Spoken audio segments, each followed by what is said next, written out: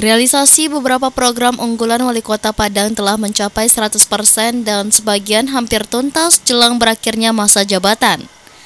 Salah satu program tersebut pengadaan 500 ruang kelas baru atau RKB baik untuk sekolah dasar dan sekolah menengah pertama. Salah satu ruang kelas baru yang diresmikan di SDN 01 dan SDN 07 Ampang. Dalam kesempatan itu, Wali Kota Padang mengatakan pembangunan ruang kelas baru Kota Padang yang dimulai pada akhir tahun 2021 telah mencapai hampir 100 persen. Pembangunan bersumber dari APBD murni Kota Padang dan dana PEN dari Kementerian Keuangan Republik Indonesia.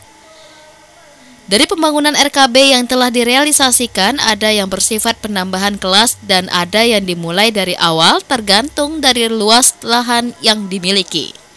Uh, kita sudah menyelesaikan 500 ya ruang kelas baru sesuai dengan uh, janji kita yang dimasukkan ke dalam RPJMD rencana pembangunan jangka menengah Kota Padang.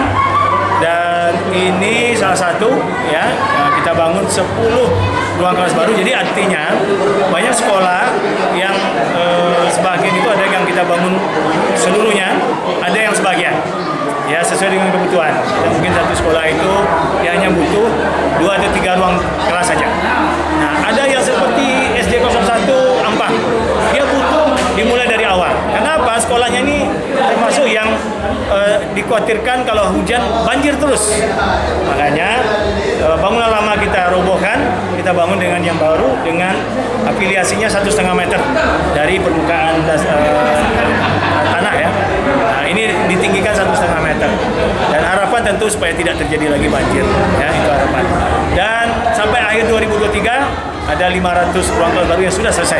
Ya, kita uh, buat dari semenjak tahun 2021 setelah masa pandemi ya, kita mulai 2021 akhir 2022 dan 2023. Ini semua adalah persembahan untuk warga Kota Padang, APBD Murni Kota Padang dan ada juga dari Dana PEN SMI sebanyak 60 miliar ya. Nah, itu juga uh, pinjaman uh, dari Menteri Keuangan.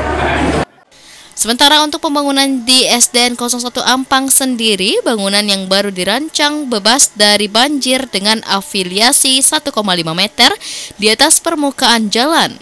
Karena sebelum dibangun ulang pada musim hujan, SDN 01 dan 07 sering kali terendam banjir. Makanya bentuk bangunan juga dirombak.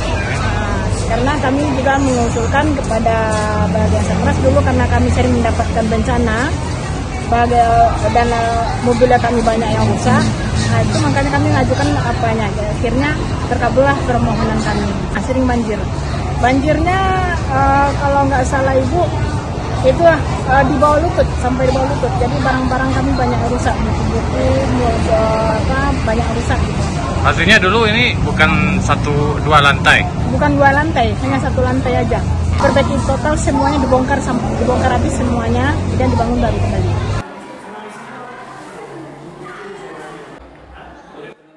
Randi Eka Putra, Padang TV.